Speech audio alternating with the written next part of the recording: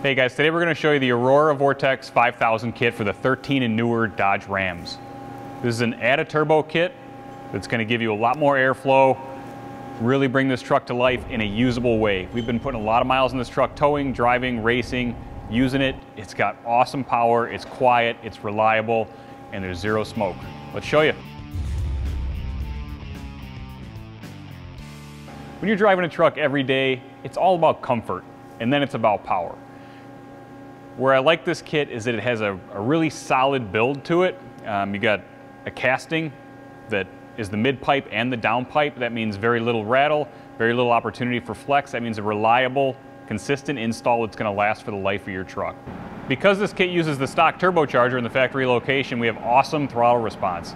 We don't sacrifice anything in the spool up department for that extra power. Extra power, 640 rear wheel horsepower, huge torque, 1200 plus. I mean, the torque is just any gear, fifth, sixth gear, trailer behind the truck, it doesn't matter. You roll on the throttle, the torque is there. That's with our tuning with MM3, uh, great platform.